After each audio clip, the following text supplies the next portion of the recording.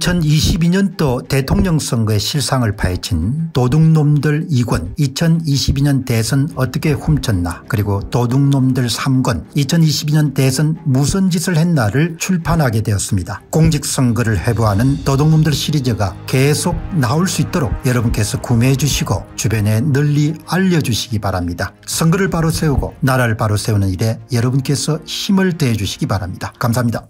안녕하십니까 공병호입니다. 여러분 어제가 6.25 전쟁 발발 73주년이 된 그런 날입니다. 그리고 이제 올해가 휴전협정이 체결된 지가 50주년이 되는 70주년이 되는 그런 해입니다.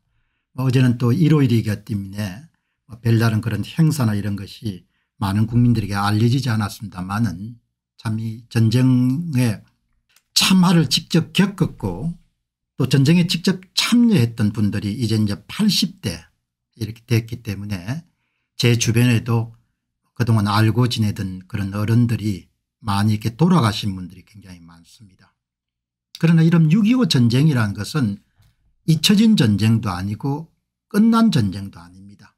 지금 이 대한민국이라는 땅에는 1945년도 해방정국 때 발생했던 좌익과 우익의 극심한 대결이 아직까지도 계속이 되고 있고 그 좌파 세력들은 어떻게 하면 대한민국 체제를 전복시킬 수 있을까 그리고 본인들이 원하는 그런 체제를 만들 수 있을까라는 그런 꿈을 그들은 한시도 이전 적이 없습니다.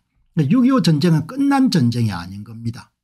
여러분 지금은 총칼이 필요가 없습니다. 이제는 총칼을 가지고 그렇게 싸울 필요가 없고 그냥 선거를 장악하게 되면 단시간 내에 비용도 들이지 않고 그냥 체제를 전복시켜서 국민들을 예속화된 상태 노예 상태로 만들 수가 있는 겁니다.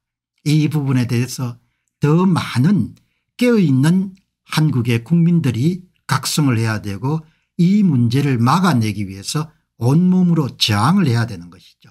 6.25 전쟁은 총칼을 썼습니다. 선거 사기와 부정선거 그것도 단발성 행사가 아니고 2017년 대통령 선거 이후로 일곱 번째 지금 반복되고 있는 대한민국 공직선거에 대한 선관위 주도 선거범죄 선관위 주도 득표수 조작이라는 것은 끝난 전쟁이 아닌 것이죠. 그렇기 때문에 73주년을 맞는 6.25 전쟁을 제가 보면서 정말 이게 끝난 전쟁이 아닌데 끝난 전쟁이 아니라고 생각하는 국민들이 얼마나 되실까 그런 생각을 하게 되는 겁니다. 여기 보시게 되면은 이게 동아일보인데 일주일치에 병력 70%를 잃은 국군 뭐 이런 기사 다 좋습니다. 그러나 대한민국을 이런 지탱하는 조선중앙동아가 6.25 전쟁에 필적할 정도의 내부의 적들로부터 선거 부정과 선거 사기를 제대로 보도했으면 나라가 지금 이렇게 혼란스럽거나 어렵지 않겠죠. 참 사람이 이중적입니다. 6.25 전쟁에서는 73년 전의 전쟁에 대해서 이렇게 분격하면서 점거물들이 생생하게 살아있는 체제 전복을 위한 좌파들의 이야기한 선거 장악 문제 선거 부정 문제 선거 조작 문제 선거 사기 문제는 일체 언급하지 않으니까 정말 나라의 기강도 무너졌고 언론인들의 기계라든지 정신상태가 어마어마하게 여러분들 그냥 내려앉은 겁니다. 이 뉴데일리 신문의 일면에 6.25 73주년 참전용사 희생대sek인 윤석열 강력한 힘이 평화보장이다. 다 옳은 말씀입니다. 그러나 윤석열 대통령은 대통령으로서 가장 중요한 의무와 책임과 역할을 지금 방치 혹은 방기하고 있는 겁니다. 6.25 전쟁에 필적할 정도가 선거 사기입니다. 일곱 번째 이런 선거 사기가 발생해도 현직 대통령이 다 입을 다물고 계시는 겁니다. 본인이 여러분들 권력을 잡고 윤석열 정부 하에서 두 번의 공직선거가 야무지게 여러분 조작된 데 불구하고 한마디도 여러분들 입을 안 내는 겁니다. 국민의 힘도 마찬가지입니다. 아직도 한국전쟁 북한 책임 부인하는 세력이 있다. 여당 옳은 이야기입니다. 그러나 국민의 힘은 더 솔직하게 6.25 전쟁은 73년 전의 이야기지만 지금 선거 사기 문제는 지금 일어나고 있고 앞으로도 일어나게 될 사건인데도 철두철미하게 여러분들 침묵하는 겁니다. 6.25의 참전용산 추모도 없이 문재인은 6.25는 미중 대리전 책 속에 있다. 나이가 여러분들 지금 70줄이 가까워 돼도 이 사상이나 이런 것은 그냥 없어지지 않는 겁니다. 그래 사람은 고쳐 쓸 수 없는 겁니다. 2017년 대통령 선거부터 본격적으로 부정선거가 단행됐지 않습니까 이 문제를 대한민국 국민들이 관심을 가지고 해결하려고 여러분들 애간장을 태우지 않으면 누가 해 주겠습니까 누가 이 문제를 해결해 주겠습니까 자기와 자식들이 자식, 자신의 노후와 자식들의 미래가 노예처럼 살아야 되는데도 불구하고 이렇게 침묵하는 이유가 뭔지 이해를 할 수 없는 겁니다. 정치인은 전혀 기대할 수가 없습니다. 왜 그들은 어떻든 선관위하고 사바사바 해가지고 그냥 무난하게 좀 협력을 받거나 협력이 아니면 은 그냥 마이너스 효과를 미치지 않는 데만 관심을 가지는 거. 이제 바야흐로 대한민국은 2024년도 4월 10일 총선을 향해 줄다름치고 있습니다. 다 난리들입니다. 정당 만든다고.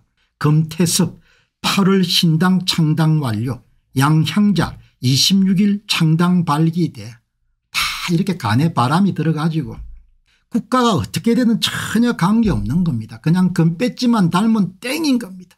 이런 나라가 어디 있습니까 구한말의 여러분들 그 소위 국가의 지도자들이 어떻게 살았습니까 제국주의 시대가 여러분들 넘쳐나는 그런 시대 속에서도 다 그냥 자기들끼리 그냥 치고받고 싸우는데 여러분들 모든 에너지를 다 소진했지 않습니까 지금 대한민국을 보게 되면 어마어마한 이런 공동체 전체를 함몰시킬 수 있는 그런 대사건이 터졌음에 불구하고 아무도 관심을 안 가지는 겁니다. 강심장이라고 할까 양심불량이라고 할까 나라가 다음에 어떻게 되더라도 저는 하나도 여러분들 신기하거나 기이하게 생각 안 할 것 같아요. 이렇게 국가의 여러분들 그 정신력이 이렇게 썩어 가지고 뭘 하겠습니까 여러분 이 지금 제가 이렇게 참 외치는데 대한민국에 똑똑한 사람들 그렇게 많습니까 대한민국 선거 조작이 어떻게 일어났습니까 이제 가설 아닙니다. 이제는 저는 그냥 이야기합니다. 선거관리위원회가 주도한 선거범죄인 겁니다. 선거관리위원회가 주도한 사전투표 득표수 조작을 한 겁니다. 선거관리위원회가 주도한 득표수 정감 작업을 한 겁니다. 선관위 이름으로 발표한 2017년 대선부터 2023년도 4월 5일 보궐선거까지 거의 대부분의 뭡니까 선관위 발표 후보별 득표수가 다 조작이 된 겁니다. 한 번이 아니고 일곱 번입니다. 문 정권 하에서 다섯 번의 선거가 조작이 됐고 윤석열 정부 하에서 두 번의 선거가 조작이 된 겁니다. 철두철미의 언론은 침묵하고 국힘당은 먼산 쳐다보고 있고 대통령은 뭡니까? 외면하고 한동훈 법무장관은 뭡니까? 그냥 예 하늘 보고 지식인들은 뭡니까? 어 모르겠다. 이렇게 하고 시민사회단체는 다 이름 입 다물고 조선중앙동아는 뭡니까? 먼 산 쳐다보고 있고 나라가 나라라고 할 수 없는 겁니다. 사람은 빵으로도 살지만 사람은 그래도 옳은 것과 옳지 않은 것 정의로운 것과 부정의한 것 불법적인 것과 합법적인 것 선한 것과 악한 것을 구분할 수 있는 능력이 돼야 됩니다. 자기의 참정권이 일곱 번이나 무참하게 박탈됐는데도 국민들 다수는 뭡니까 어 저거는 공박사 하는 주제 뭐 이 정도인 겁니다. 여러분 이 선거 사기는 기본적으로 여러분 이 보시게 되면은 이 선거관리위원회가 여러분들 발표한 자료가 사전투표를 조작하지 않았으면 왼쪽처럼 이거를 난수 무작위수 자연수라고 하지 않습니까 x와 y의 통계자료 사이에 어떤 종류의 규칙을 찾을 수 없는 겁니다. 여기서 x라는 것은 더불어민주당 후보가 받은 득표수 y라는 것은 국민의힘 후보가 받은 득표수라고 가정을 할 수 있죠. 그런데 제야 전문가가 27년도 2017년도 대통령 선거부터 2023년도 4월 5일 보궐선거까지 선관위가 자랑스럽게 발표한 후보가 받은 득표수 자료를 지금 다 조사를 해보니까 왼쪽처럼 나온 것이 아니고 뭐처럼 나왔습니까? 오른쪽처럼. 예를 들어서 더불어민주당 후보의 득표수하고 미래 저 국민의힘의 득표수하고 착한 규칙이 이름 찾아진 거 아닙니까? 그 규칙이랑은 조작값을 이용해 가지고 국민의힘 후보가 얻은 사전투표 득표수 가운데 일정 퍼센트 조작값만큼 마이너스 처리 훔쳐가지고 그것을 전산적으로 여러분들 누구한테 대줍니까? 더불어민주당 후보한테 더해준 이런 규칙이 나온 거 아닙니까? 더불어민주당 후보의 X 득표수하고 국민의힘 득표수와의 착한 관계를 찾아낸 거 아닙니까? 그러니까 이 문제를 제가 당당하게 이야기하더라도 선거 관리를 담당한 사람들이 뭐라고 이야기를 할 수 없는 겁니다. 왜냐? 왜 이런 이야기할 수 없는 거한 사실이기 때문에. 사실이기 때문에. 여러분 이제는 뭐 총칼이 필요가 없지 않습니까? 저는 일곱 번째 발생한 선관위주도 선거범죄를 저는 역사적으로 어떻게 평가하는가 하니까? 그냥 6.25 전쟁에 필적할 정도의 대한민국 근현대사에서 가장 큰 범죄라고 그렇게. 6.25 전쟁은 외부의 적들에 의해서 체제를 전복시키기 위한 침탈 행위였고 2017년 대선부터 2023년 4월 5일 보궐선거까지 대한민국 공직선거에 대한 선거 조작 득표수 조작이라는 것은 결국은 특정 정치 세력과 선거 사무를 담당한 자들이 결탁돼 가지고 체제를 전복시키기 위한 범죄를 저지른 거죠. 그 범죄에 대해서 어떻게 대통령이 침묵할 수가 있습니까? 어떻게 법무부 장관이 입을 다물 수가 있습니까? 어떻게 검찰총장이 뭡니까? 먼산 쳐다볼 수 있습니까?